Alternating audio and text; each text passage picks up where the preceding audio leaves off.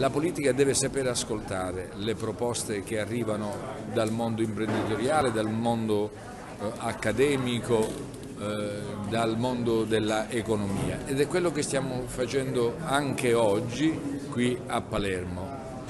Analisi, riflessioni e proposte per una regione che si muove fra luci e ombre con eh, carenze strutturali e, e carenze congiunturali. Io credo che il male della nostra isola stia nella carenza strutturale, che è un male che si porta dietro da circa 60-70 anni. E sopperire a questa carenza significa richiamare Roma e Bruxelles, ognuno alle proprie responsabilità.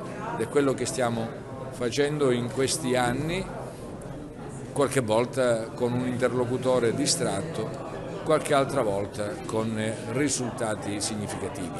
Però la Sicilia cresce, cresce nel settore dell'agrofood, cresce nel settore delle costruzioni, eh, abbiamo finalmente ottenuto la copertura finanziaria per centinaia di milioni di euro delle infrastrutture idriche, segno evidente che qualcosa, grazie al nostro governo, si muove in una terra che abbiamo trovato assolutamente rassegnata e priva di motivazione.